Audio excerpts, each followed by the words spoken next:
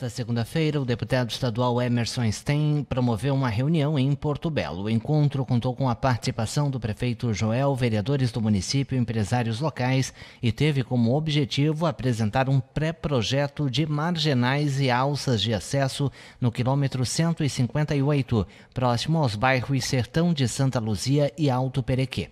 O deputado busca apoio e parcerias para transformar esse projeto em realidade, sendo planejado como a iniciativa público-privada. A infraestrutura viária proposta visa melhorar a mobilidade e a conectividade na região.